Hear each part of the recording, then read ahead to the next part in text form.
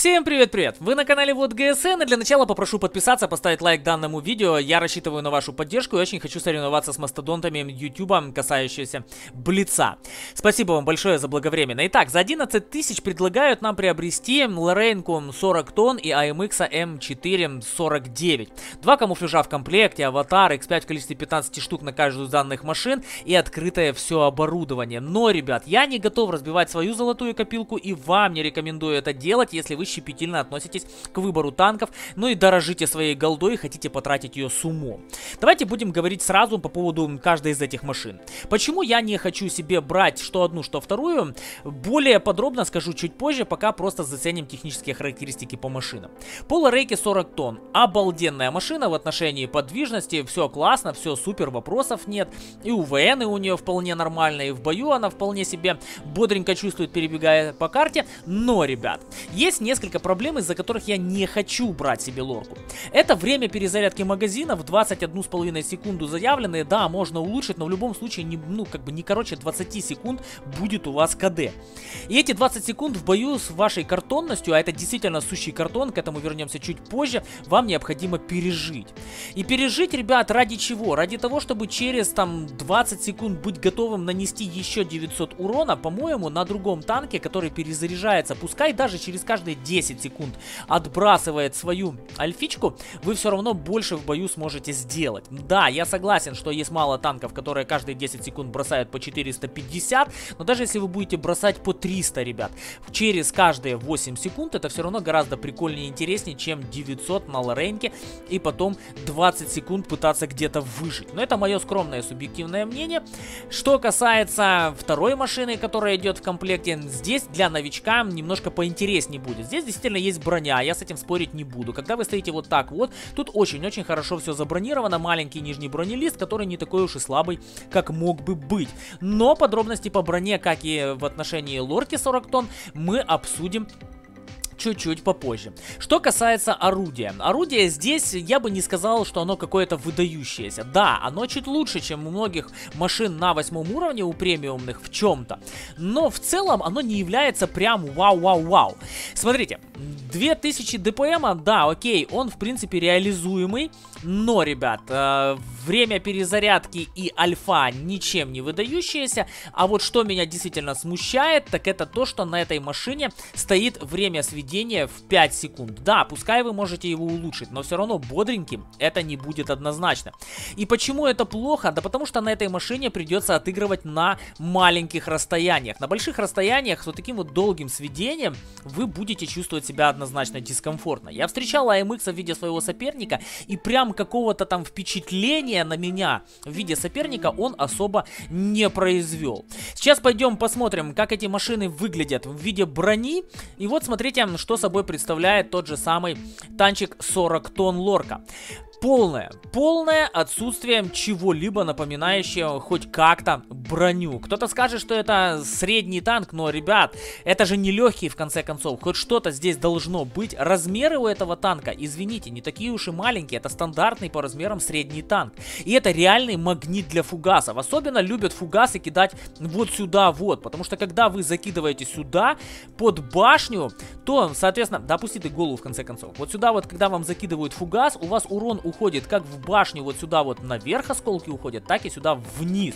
И довольно-таки неплохо порой критуется данная машина по бортам, по морде лица, короче говоря, везде, ребят, пробивать будут только так. Поэтому отыгрывать на данной машине прям бодренько и весело получится далеко не у всех. И поскольку я не любитель картонных танков, я люблю машины живучие, это первая причина, по которой я не хочу себе Лорейн 40 тонн. Я взял для примера, для сравнения Defender MK1. Спросите почему? Да потому что Defender MK1 это вторая машина на восьмом левеле из средних, которая обладает барабаном именно на 4 снаряда. Есть еще Лорейн 40 тонн какой-то там бесстрашный или бессмертный, не помню, честно говоря. Давайте ради интереса посмотрим. Да, вот, бесстрашный. Но, ребят, это тупо, тупо то же самое, да, там чуть-чуть где-то улучшено, и на продажу оно не выпадает. Поэтому убираем сразу со списка, и давайте будем сравнивать двух вот этих товарищей, потому что Defender MK1, он периодически вылетает на продажу. И смотрите, насколько Defender MK1 веселее и интересней. Лучше заявленный ДПМ. пробитие выше. Да, пускай чуть ниже альфа, и как бы казалось, что 35 единиц это типа много, но нет, ребят, здесь практически 11, а если вы улучшите, то будет 11 полноценных выстрелов в э, минуту против 8 у лорки 40 тонн. При тех же четырех снарядах в магазине, ребят, и перезарядка барабана здесь 16 секунд, а здесь перезарядка 20 секунд с половиной. Это я говорю еще раз, с учетом того, что вы там будете улучшать и так далее. Сведение уже лучше, разброс ничем не отличающийся, по-моему, даже чутка получше будет. Есть УВНы, которые более интересны. И что самое парадоксальное, что у Defender МК-1 есть, ребят, броня. Это тоже средний танк, тоже на 4 снаряда, да, пускай менее подвижный, но, ребят, есть броня, здесь все желтое, я даже боюсь называть цифры, 75 с учетом приведенки, в башне там, блин, я найти не могу твердое место, но пускай 78. Здесь в башне 256, с учетом приведенки 302, 254 без приведенки, кепка, которая, ну, тяжело выцеливается из-за размеров и слабо пробивается, 170 миллиметров брони. И даже если смотреть на нижний бронелист, тут все равно хоть что-то есть. И даже если вы начинаете как-то там вот так вот отыгрывать, то все равно башня у вас остается рикошетной.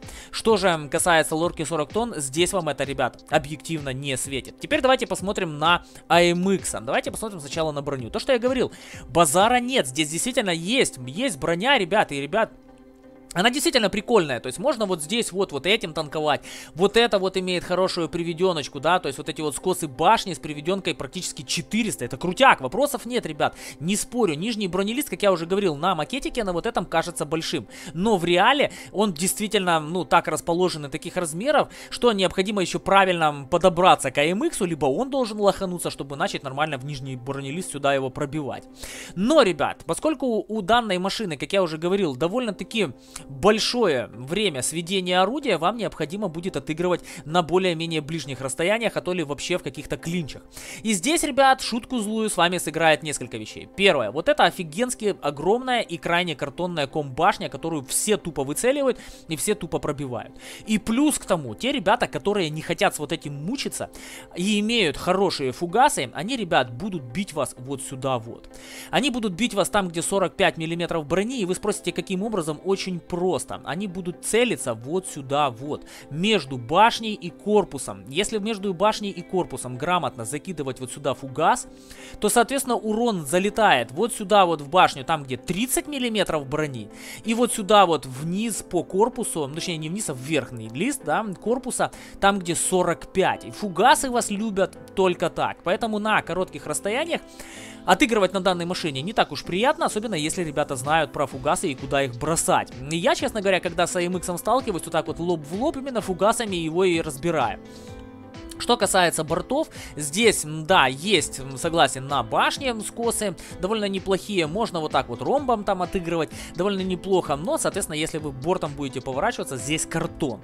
Короче говоря, из вот этих вот мелких нюансов и состоит причина, по которой я не готов отдавать свою голду за эти машины. Давайте сравним AMX с подобными, ну или почти подобными машинами, которые я решил выбрать для сравнения. Я убрал те, которые барабанные, я убрал машины, которые с задним расположением башни, я выбрал те машины, которые действительно похожи. Я убрал, допустим, того же самого Action X, который перезаряжается просто что чума.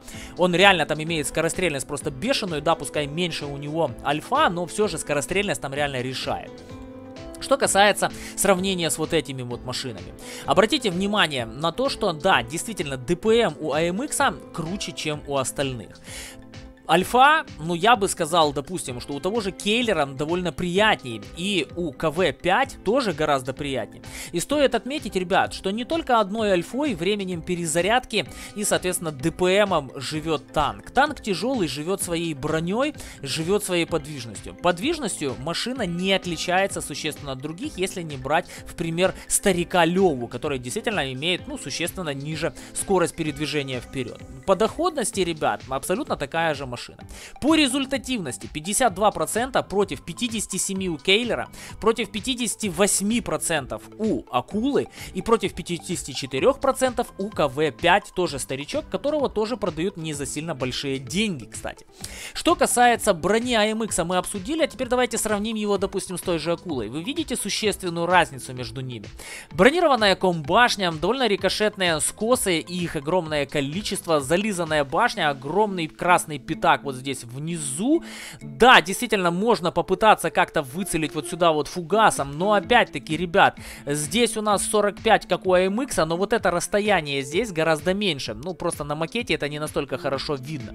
Хороший бронелист верхний, ну а если умеете прятать нижний бронелист, вообще счастье.